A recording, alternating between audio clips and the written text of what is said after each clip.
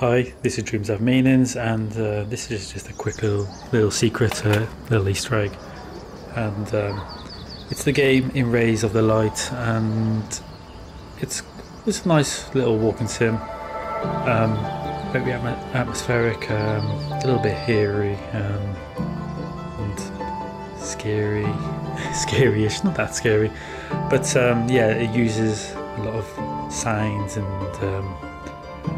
Lighting and just just kind of spook you a little bit. Anyway, so this is the intro to the game, and you see on the screen there the can.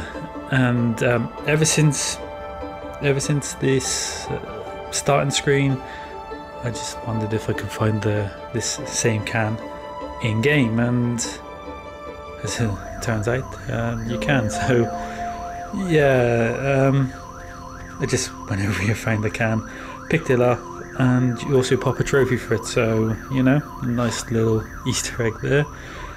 And uh, that's pretty much it. So um, yeah, hope you enjoyed this, and uh, see you guys again later.